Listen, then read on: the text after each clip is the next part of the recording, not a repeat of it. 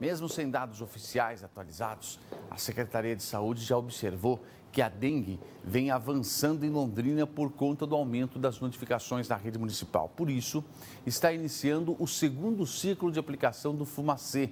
Nessa fase, serão 60 localidades onde, onde há maior número de focos. Né? Eles escolheram lá, aqui tem mais foco, aqui tem mais foco, então vamos meter o Fumacê lá para ver se dá uma diminuída no negócio.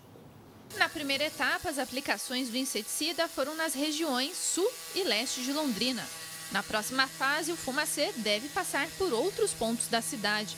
Ao todo, são 60 localidades onde há maior número de focos do mosquito. São cinco ciclos nas localidades e é justamente isso que nós estamos cumprindo nesse, nessa primeira etapa. Entretanto, nós estamos expandindo, ampliando é, para todas as outras localidades da cidade de acordo com o cronograma técnico da nossa equipe de endemias. A medida foi adotada depois que a Prefeitura constatou o aumento do número de casos de dengue no município.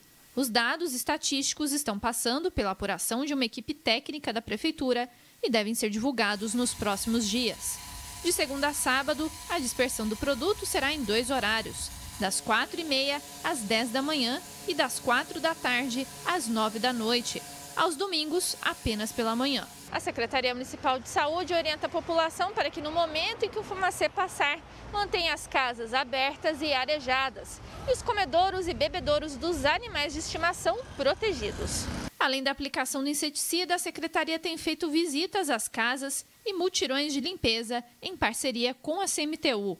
As ações visam intensificar o combate ao mosquito. No Jardim Progresso, Jardim Paulista, na Vila Marísia. Nós estaremos nesses locais porque há uma incidência maior de casos e a Secretaria de Saúde apontou esses locais como necessários e nós estaremos fazendo um mutirão do Bota Fora. Então nós solicitamos à população a colaboração que coloque os, os objetos não mais utilizados, tais como móveis antigos, pneus, enfim, louças sanitárias, tudo aquilo que possa vir a ser um criador do, do, mosquito da dengue. Mesmo com todo o trabalho de combate à dengue, a Secretaria reforça que o sucesso na prevenção depende da população.